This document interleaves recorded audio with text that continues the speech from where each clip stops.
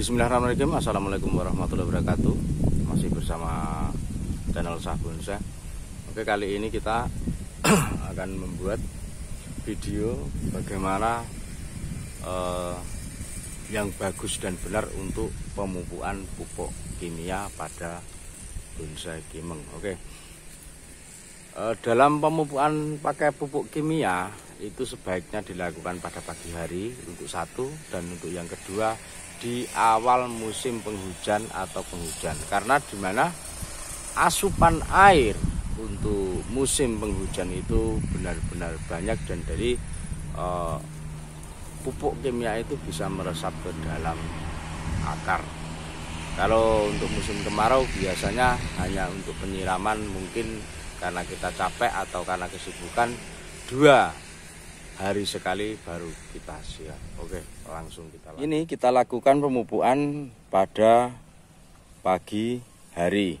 Oke, sekitar pukul 8 waktu Indonesia bagian barat. Dan ini ada beberapa luka yang belum saya salep. Oke, dan pada hari ini eh, mungkin di sini kita um, awal penghujan ya, awal musim penghujan. Ini juga karena nutrisi sudah berkurang. Oke, kita lanjut bagaimana cara pemupukannya ya. Sebelum itu kita uh, cabuti dulu rumput-rumputnya. Oke, kita saksikan. Oke, kita cabuti dulu rumput liarnya.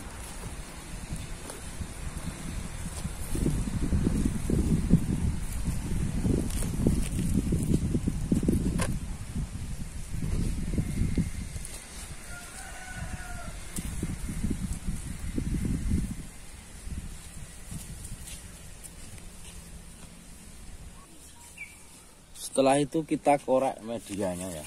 Kita ambil medianya. Kita korek. Kita keluarkan dulu media ini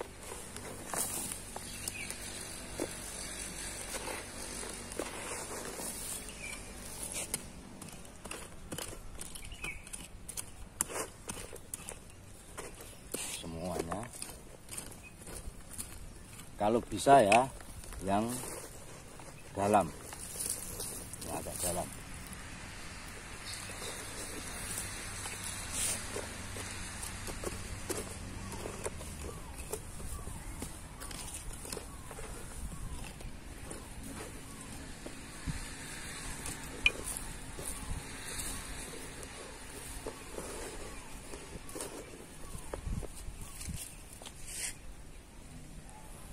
setelah kita korek keseluruhan ini ini sudah kita korek media sudah kita taruh di bawah lalu kita taburi pupuknya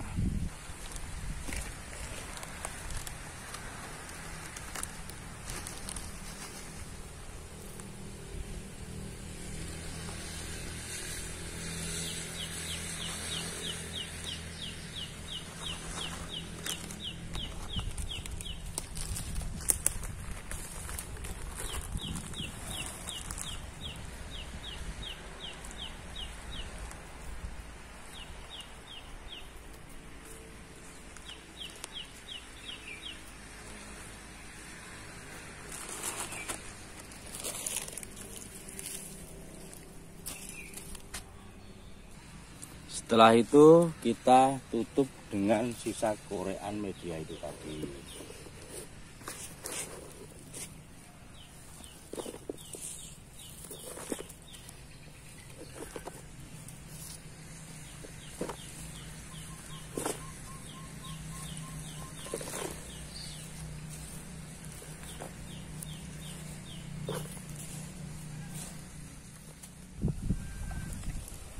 Kenapa harus kita tutup dengan media itu tadi untuk pupuknya? Karena pupuk kimia jenis NPK ini kalau nanti kita hanya taruh di atas dan tidak kita timbun, apalagi tidak ada hujan atau telat penyiraman, hanya akan sia-sia.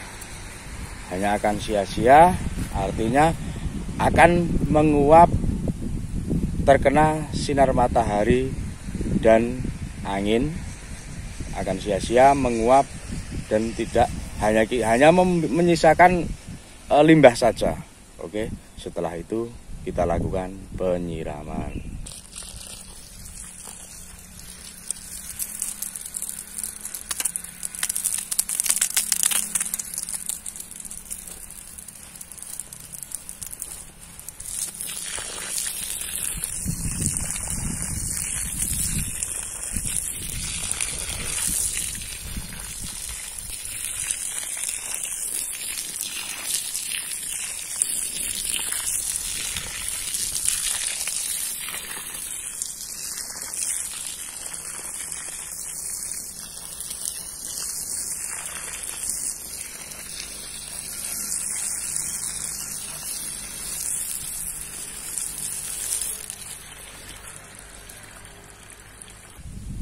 Oke teman, demikian tadi bagaimana cara pemupukan yang baik dan benar dengan menggunakan pupuk kimia.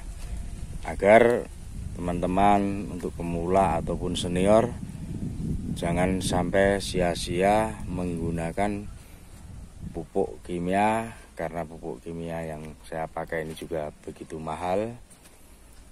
Oke, terima kasih. Jangan lupa like, comment, share juga subscribe-nya. Semoga bermanfaat. Akhir kata, Assalamualaikum warahmatullahi wabarakatuh.